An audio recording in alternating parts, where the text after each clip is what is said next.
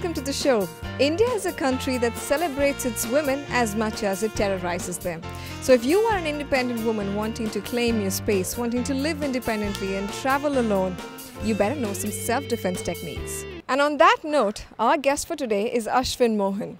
Ashwin is the program director at Savage Fighting Arts. He and his team have empowered over 9 lakh women across India in claiming their space. Ashwin, um, on the average Indian street, it's not just uh, just sexual intentions from which threats arise for Indian women. There's much more.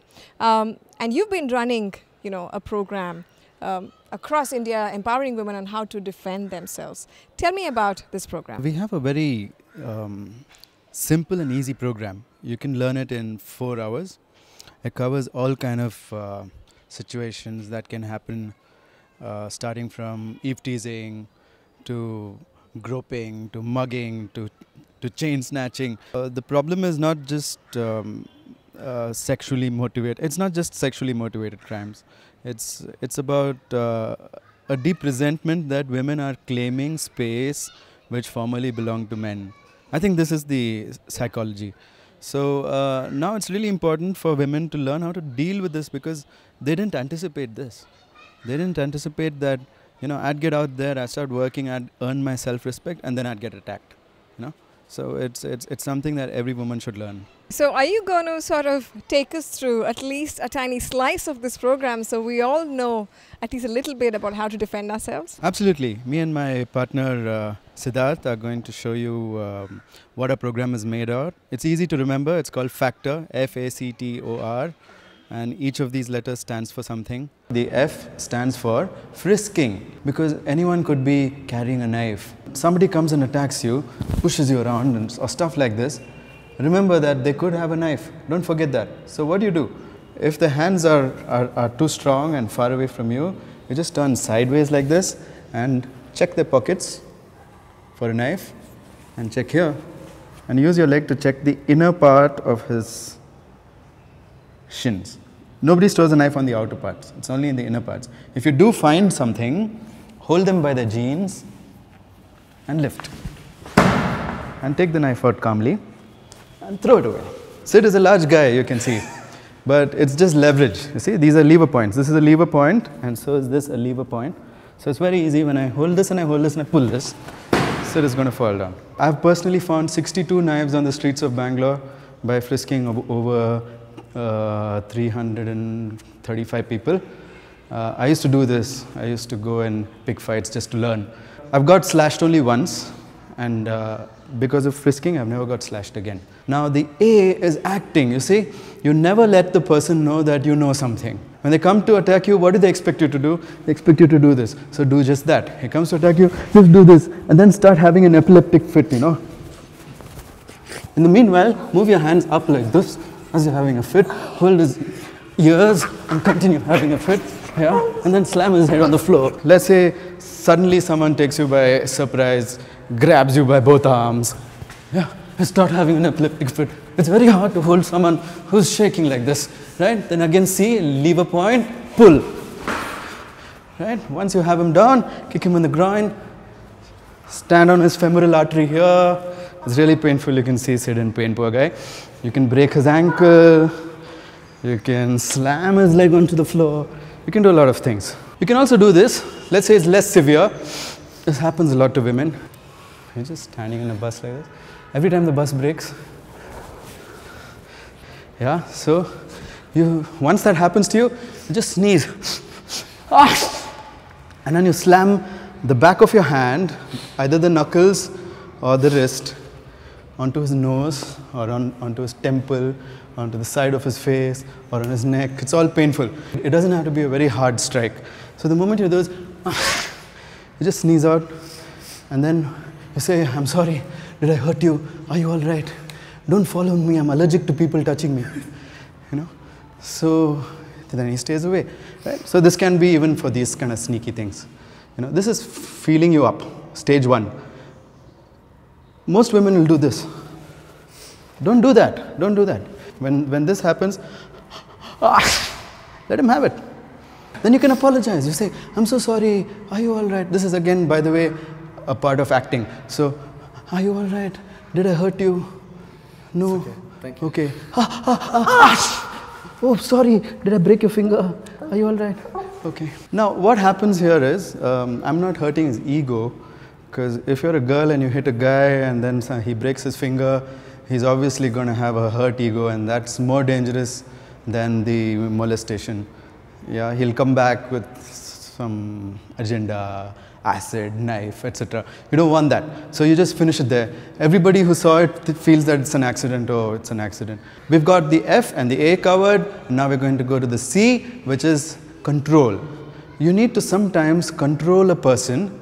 Uh, the reason being that maybe you can't hurt him. Maybe he's your brother's friend or your brother-in-law maybe. Yeah you can't really hit him. But you need to control him. You need to show him that i know stuff and i will really mess with you if you don't cease and desist what you're doing right now. Let's say somebody has got drunk in a party and he's got his hands all over you right? Yeah just take two fingers and control him like this see? Very simple now fingers can bend this way easily nothing happens but when they bend the opposite way it really hurts. Now, this is the vector. Wherever the bottom of the wrist is pointing, that's where he's going to go. See? If I want him to stand up, I point the bottom of his wrist upwards and he stands up. So I've got him under control here. I'm just holding three fingers, as many as I can hold. It has to be at least two to be effective. Hold two. If you hold one, you'll break it and you'll end up hurting him. Now you may ask, what if he punches me with the other hand? Try to punch me, Sid. Just increase the pressure. Punch me, Sid. Go on, Sid. Okay, he can't punch you. He can't punch you with the other hand. What if he kicks you with the other leg? Oh, I thought you were going to kick me. No? Oh, okay, all right. Moving on to the next letter, which is T. And uh, it stands for take down. The reason to take someone down is uh, so that he doesn't follow you. If you take him down, you should break his ankle, especially if it's a street situation, right?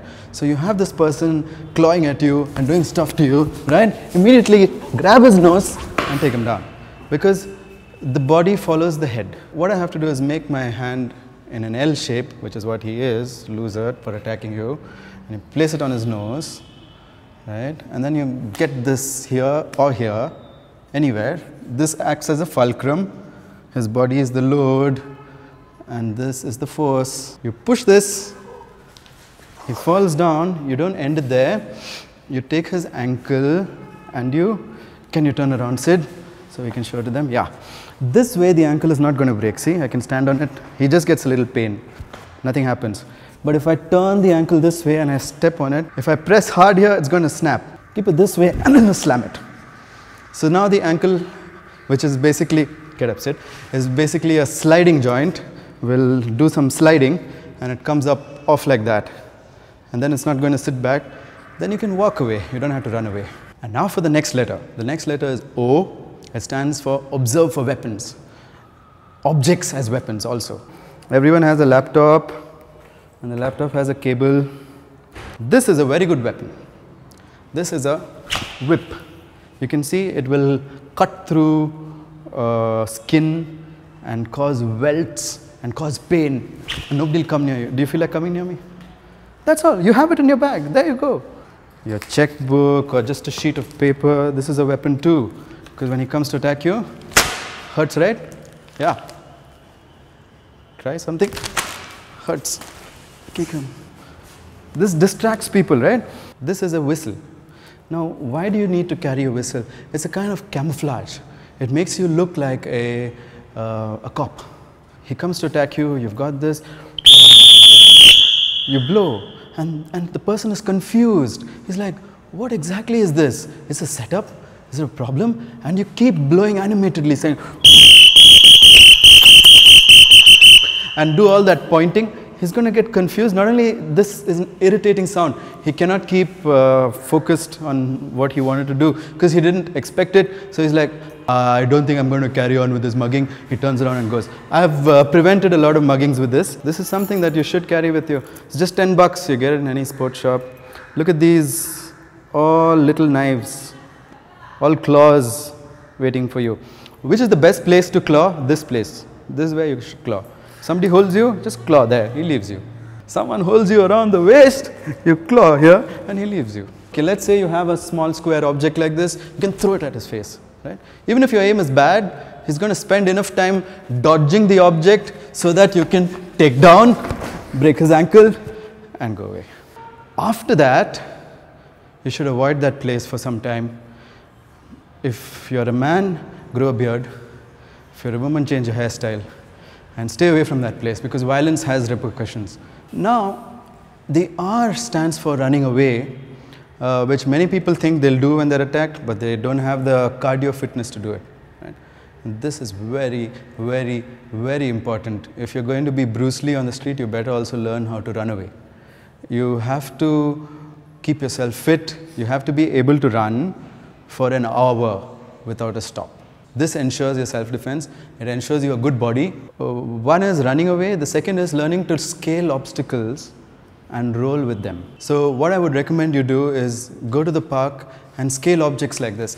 Get over them without touching them and not hurting yourself. You come here, you slam one leg down real hard and jump up. See?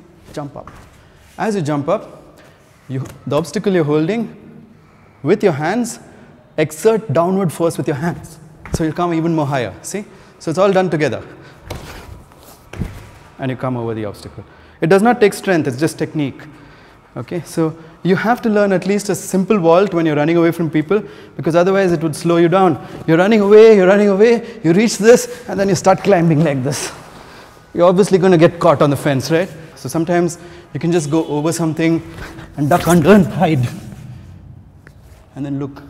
And if he comes around that way, then you take down, break his ankle, and run the other way. So it's very important to learn how to vault over objects. That's one important skill.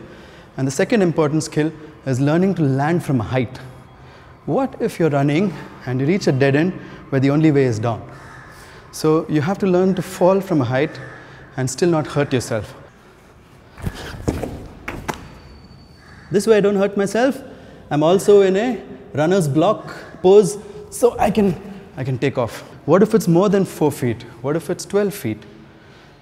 Then the impact will be solely on your hands and legs. So you have to learn to roll forward on one shoulder, either your left or your right. You need to practice it so that you uh, distribute the momentum and you take the impact off your joints. I'm landing from a really big height, 12 feet. If I land like this and I stay here, the impact is going to go up like that, hit my spine. It might hurt my shoulders, it might hurt my knees. So I don't want that. What am I going to do? The moment I land like this, I'm going to turn over this way and roll.